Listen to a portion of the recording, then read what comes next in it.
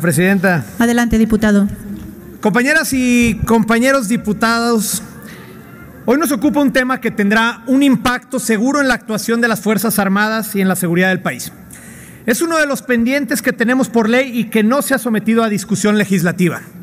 En octubre de 2021, el Pleno de la Suprema Corte de Justicia de la Nación analizó la acción de inconstitucionalidad presentada por la Comisión Nacional de los Derechos Humanos en contra de la Ley Nacional sobre el Uso de la Fuerza, en donde se argumentó la existencia de diversas omisiones legislativas.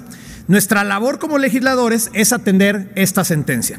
Por ello, Hoy sometemos este dictamen, producto de las iniciativas de diputadas y diputados de varios grupos parlamentarios, para cumplir con la sentencia de la acción de inconstitucionalidad 64 diagonal 2019, emitida por la Suprema Corte de Justicia de la Nación. La sentencia apunta que debemos legislar sobre las previsiones constitucionales mínimas relacionadas al uso legítimo de la fuerza. En esencia, este dictamen se incorporan los principios de racionalidad y oportunidad para dar mayor certeza a los elementos encargados de la seguridad del país en el ejercicio de sus funciones. Con la redacción propuesta al principio de, proporcionalidad junto con el principio de absoluta necesidad, brindan mayor claridad y eliminan las ambigüedades que dotaban de incertidumbre la actuación de los elementos de seguridad y las Fuerzas Armadas. Con este dictamen solo deben actuar justificadamente conforme a los protocolos y no en reacción innecesaria que pudiera constituirse en abusos de autoridad o violentar derechos de las y los ciudadanos.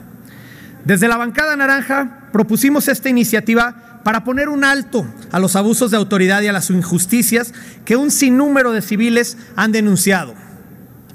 Derivado de este acuerdo que hemos logrado, vale la pena insistir en que no se abandonen las instituciones de seguridad pública y que se le den los elementos necesarios de capacitación y equipamiento para hacerle frente a la inseguridad que vive el país y sobre todo que se respeten las funciones que tienen encomendadas. El Poder Civil ha abusado de la lealtad que tiene el ejército al Poder Civil. Por eso, se le ha obligado a realizar labores que no le son propias, como construir trenes y aeropuertos, así como encargarse de la seguridad pública. Esto significa no tener su naturaleza, no entenderla, incluso faltarles al respeto. Nosotros no apoyaremos el avance de la militarización en nuestro país. En la bancada naranja sabemos que todos merecemos vivir en un México de paz en el que se respetan los derechos humanos. Este dictamen significa un paso en ese sentido. Por ello, hoy nuestro voto es en favor de la ciudadanía y de esta propuesta. Es cuanto. Muchas gracias. Gracias, diputado.